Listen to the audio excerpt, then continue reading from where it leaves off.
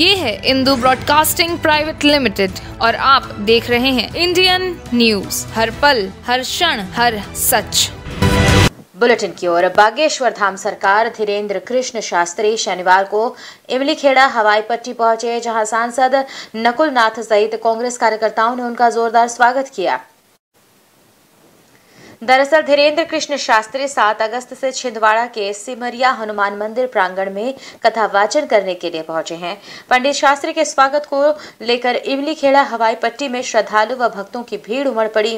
बताया जा रहा है कि बागेश्वर धाम सरकार यहाँ दिव्य दरबार भी लगाएँगे, जहाँ लोगों की समस्या का समाधान किया जाएगा। आयोजकों ने सारी तैयारियाँ कर ली हैं, वहीं सुरक्षा व्यवस्था को लेकर भी पुलिस ने चाक चौबंद व्यवस्था कर रखी है।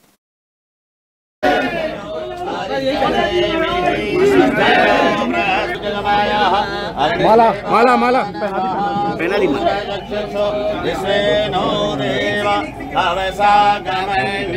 देव कर्णेभिः शृणयाम देव भद्रं